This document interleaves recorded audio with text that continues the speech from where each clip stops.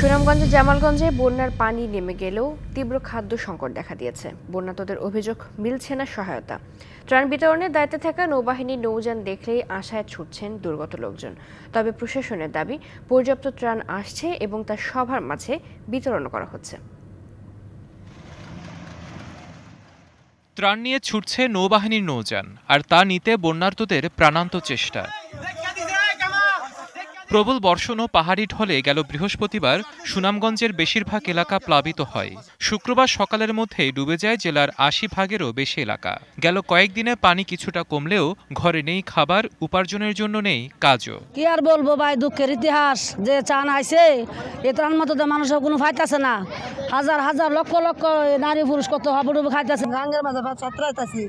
কিছু আমরা পাই না। মানে আবুজুব অসার হচ্ছি। আমরা ক্ষতি হয়েছে মনে করেন বাড়ি ঘর ভাঙ্গে আমরা বই বড় ভরা গেছি আবার ভাঙ্গিয়া মনে করুন পানি কমছে আবার টাইটে লইলাম।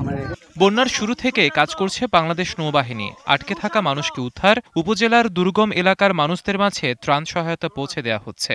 এখানে জনসংখ্যা জনসংখ্যার পরিমাণ হচ্ছে লাখে কিন্তু এখানে আমরা যে ত্রাণ পেয়েছি সেটা সংখ্যা হাজারে।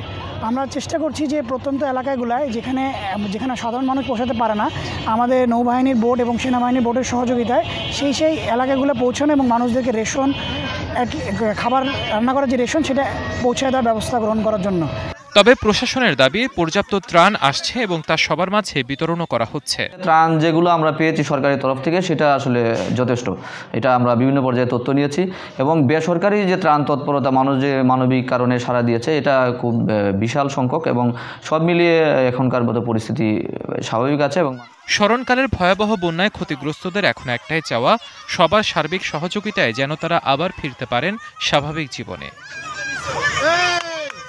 DBC news desk